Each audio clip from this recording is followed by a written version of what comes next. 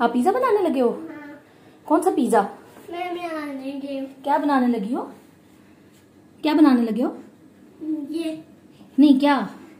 ये इसमें बनाओगे? क्या बनाओगे? इसमें क्या बनाओगे? और ये जाना पिज्जा खाने लगे हो? हाँ ये भी डालना हाँ। जी ये भी डालना है। अच्छा खाला डाल देती है। ओके पिज्जा पिज्जा अजलान खाएगा? हाँ। और इसमें डालती हूँ ना और कौन खाएगा पिज्जा अजलान के अलावा कौन खाएगा? पिज्जा अजलान पिज्जा खाएगा और कौन खाएगा? नानो खाएगा? हम्म, नानो को दोगे? हम्म, खाला को दोगे? अनम को दोगे? अनम को? उसको भी दे दोगे? वाह अजलान तो बहुत अच्छा बच्चा है। अजलान ने खाना नहीं खाया? अजलान ने खाला से कहा मैंने खाना नहीं खाना मैंने रोटी नहीं खानी मैंने पिज्जा खाना है। थोड़ा सा बना दो अभी थोड़ा सा। अच्छे। चलो बस।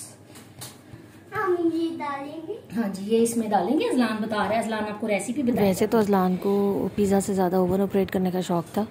लेकिन मेरी कोशिश होती है कि बच्चा जब आपके पास खड़ा हो तो आप उसको ज़रूर कुछ ना कुछ नया सिखाएँ नए वर्ड्स तो साथ साथ मैंने अजलान को सिखाया बताया और उसने फिर रेसिपी आपको अपनी ज़ुबान में बताई है।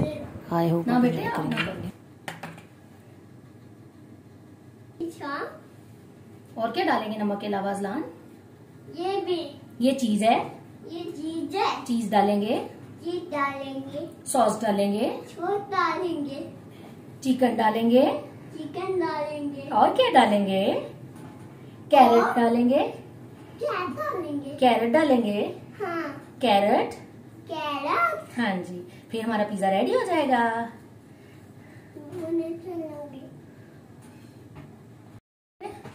चलो पिज्जा लेके आए। ओवन में रखें।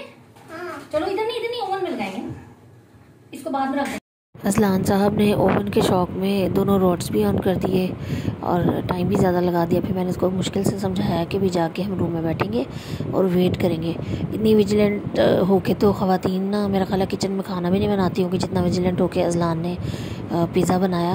बिकॉज़ इसको मैं रूम में ले गई थी लेकिन इसने रूम से कोई कमरे से कोई दस चक्कर लगाए होंगे किचन में जस्ट टू चेक कि पिज़्ज़ा रेडी हुआ है कि नहीं हुआ। तो ही वॉज़ सो एक्साइटेड आप देख रहे हैं ना कैसे भागा हुआ जा रहा है। तो जाके बार बार वहाँ खड़ा हो जाता था कि मेरा पिज़्ज़ा रेडी नहीं हुआ मेरा पिज़्ज़ा रेडी हो गया। अजलान पिज्जा पक गया? हाँ जी। बन गया? हम बन गए निकाल ले?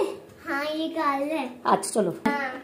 चलो और निकालें फिर हमने पिज़्ज़ा निकाला जाके रूम में रखा अजलान से पूछा कि ये किस किस के साथ शेयर करेगा। आप सारा पिज्जा खा लोगे? नानों को नहीं दोगे?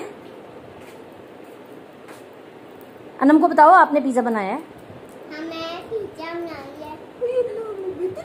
ले जी अजलान की रेसिपी तो आपने पिज़्ज़ा की देख ली है। अब आप आ, आप भी इसे एंजॉय भी करें ट्राई भी करें। तो मिलते हैं इंशाल्लाह किसी नेक्स्ट वीडियो में। अल्लाह हाफिज़।